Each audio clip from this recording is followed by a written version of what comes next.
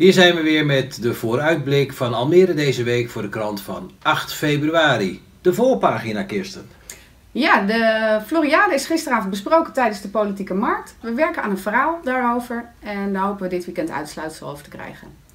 Wat hebben we op pagina 3, Robert? Op pagina 3, uh, vorige week stonden er vragen die kinderen aan burgemeester Weerwind hebben gesteld. En de burgemeester beantwoordt die vragen in deze krant. En uh, we hebben het over de subsidie die verstrekt is aan Inspiration Inc. En de PVV noemde dat subsidie voor Afrikaanse trommelherrie. Oké. Okay.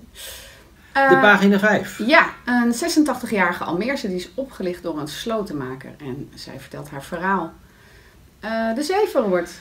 Ja, Marcel is bij de politieke markt geweest bij de criminaliteitscijfers. Uh, daar hebben we een stuk over. En we hebben op onze website al een filmpje staan met uh, Julis um, van de VVD. Oké, nou op de uit hebben we Corosia. Het is één jaar na de verbouwing, de heropening. En dat vieren zij in het weekend van 11 februari. En op de sport hebben we een 16-jarige snoekeraar die meedoet aan het EK.